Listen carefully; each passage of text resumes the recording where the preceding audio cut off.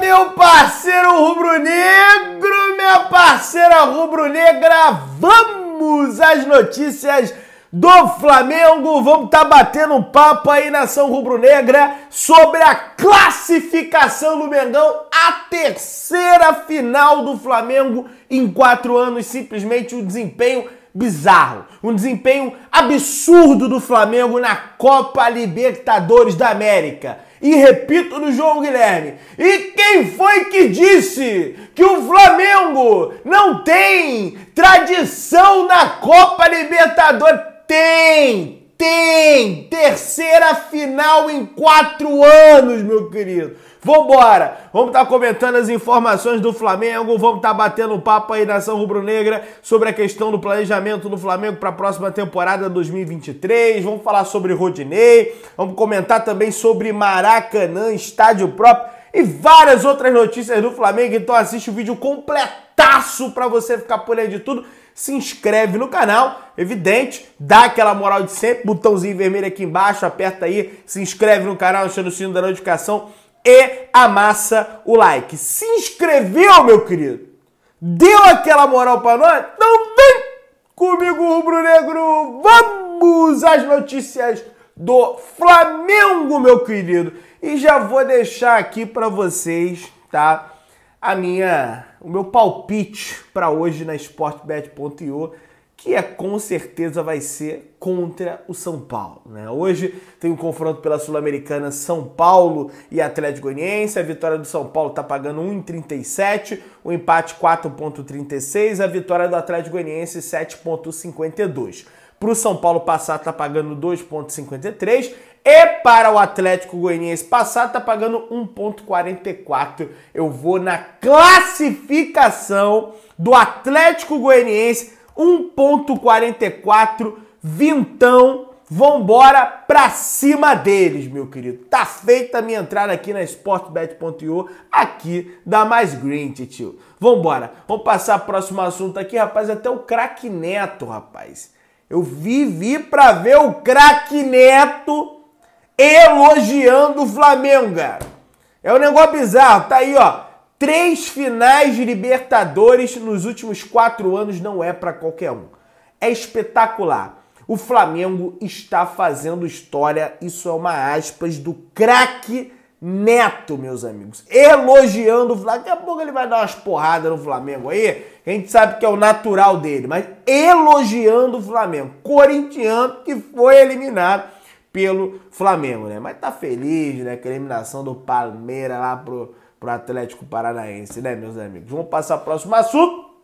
A repórter Natália Coelho do Coluna do Flamengo informa que, sem folga, depois de garantir a classificação para a final da Copa Libertadores da América, o elenco do Flamengo é esperado para treinar hoje, quinta-feira, no CT Ninho do Urubu, tá? Às 15 horas, horário de Brasília. O foco das atividades será o jogo contra o Goiás no próximo domingo, às 11 horas da manhã, meus amigos. Beleza? No jogo contra o Goiás, às 11 horas da manhã. Vamos passar aqui pro próximo assunto. Vai lembrar que nesse jogo contra o Goiás aí, tá? Que, que vai acontecer no domingo às 11 horas. Rapaz, o Flamengo só, só tem que mudar esse horário aí, velho. O Flamengo só joga uns 300 jogos às 11 horas da manhã, cara. É um negócio de doido isso aí, cara. O Flamengo toda hora. E esse jogo, rapaz, das 11 horas da manhã, é um jogo que. Ah, Pedrão, você tá de superstição, cara. Também não é bem assim. 11 horas não, tá? O jogo aqui tá datado. É porque, olha só, olha que doido. Se você for entrar na página do Goiás, tá dando que o jogo é às 11 horas da manhã. E aqui na página do Flamengo tá dando que o jogo é 7 horas. Mas esse jogo, só corrigindo, vai acontecer 7 horas. Tá? Flamengo e Goiás vão jogar 7 horas do dia 11, tá? Dia 11, domingo, e não vamos ter a presença do Gabigol, que foi expulso, não vamos ter a presença do Pedro, tá? Que também tomou o terceiro cartão amarelo, e não teve, teremos a presença do Fabrício Bruno, que tomou o terceiro cartão amarelo no banco. Negócio inacreditável assim. Então não vamos ter a presença de nenhum dos nossos dois principais atacantes. Vamos ver o que, é que o Dorival vai armar aí, vai botar o Mateusão. Para mim já era para ter botado o Mateusão no jogo de ontem, 4 a 0 jogo resolvido, mas não. Tem que fazer a política ali, né, Budão? Tem que botar o Diego, vamos botar o Diego aqui, o Diego tem que jogar um tempinho aqui. Não faz o menor sentido isso aí, né, meus amigos? Mas vambora. Ó, o Flamengo vai enviar, meus amigos, segundo Globoesporte.com, um representante para o Equador para estar tá fazendo uma vistoria técnica. O time vai treinar no estádio da equipe do Emelec, que também é de Guayaquil, tá? Temos aí o Barcelona de Guayaquil e temos o Emelec, né? Os dois principais times. Cachorro vascaíno, fica quieto aí. É, temos aí os dois principais times aí, tá?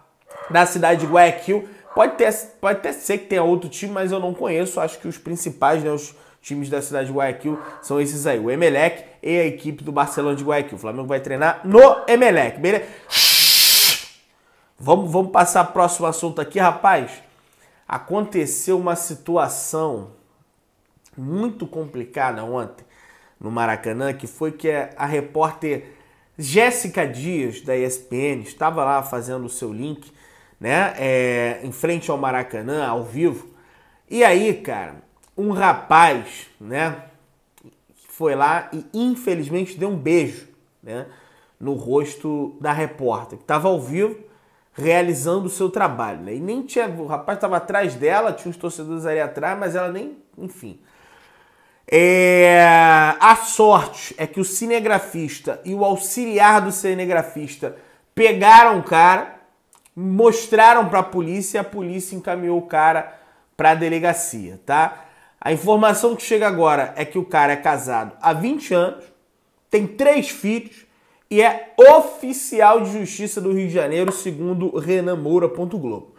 Ele está, ele foi transferido tá, da, da delegacia para o presídio de Benfica, no Rio de Janeiro, tá? Tendo em vista que ele foi pego em flagrante, né, meus amigos? Então, ele não vai ficar preso, ele vai, mas pelo menos já levou presídio, já passou uma noite preso, porque, gente, não pode fazer isso de forma nenhuma. A menina está ali trabalhando, é, não é consensual de forma nenhuma, o cara vai lá, dá um beijo, não existe isso, não pode fazer isso, torcedor não pode fazer isso, e certamente esse cara não representa o Flamengo. Tanto é que o Flamengo soltou uma nota através do seu Twitter escrevendo: O clube de regatas do Flamengo repudiu o assédio cometido por um torcedor rubro-negro com a jornalista da ESPN Jéssica Dias durante reportagem antes da partida dessa noite.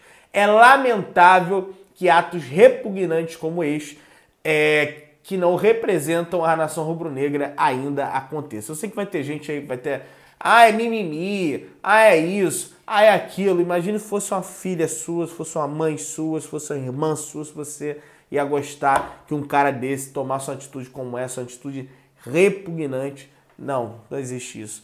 Isso não pode voltar a acontecer, tá? Vamos passar aqui pro próximo assunto e isso que sirva de lição, né? Que vai preso, dá merda, dá cadeia aí, ó. Ah, vai ser solto rápido, mas já ganhou uma ficha na, na, na polícia aí, já ficou fichado aí na polícia. Vamos lá.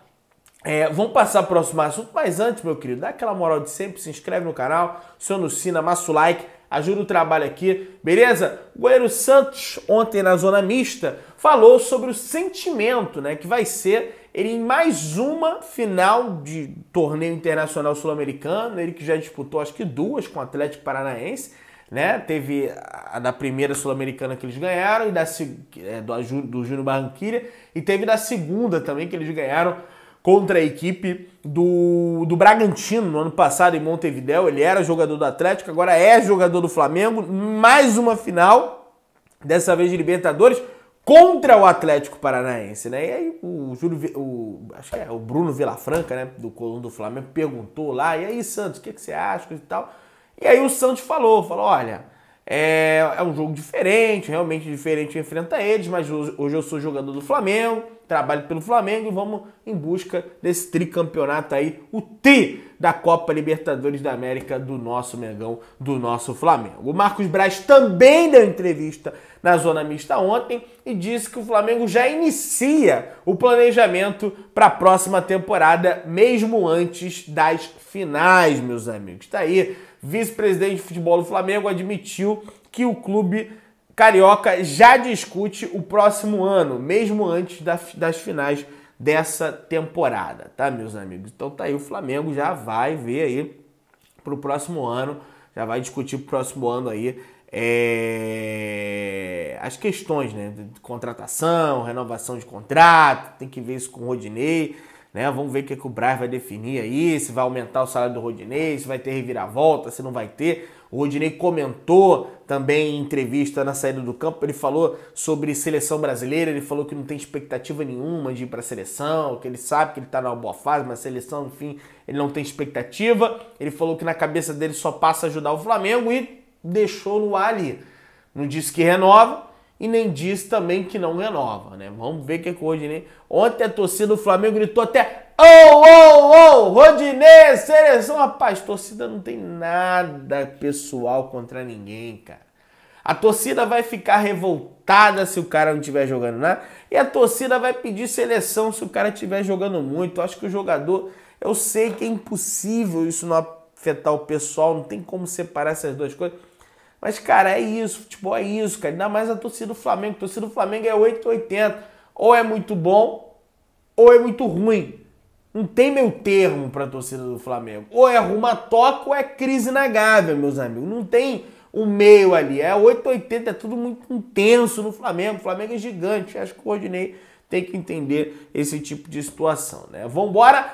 E o Bruno Henrique, meus amigos, que tá lesionado, e mesmo lesionado, pode seguir como líder de assistência da Copa Libertadores da América, meus amigos. Você vê o tamanho do rendimento aí do Bruno Henrique, que mesmo lesionado já não joga há um tempão.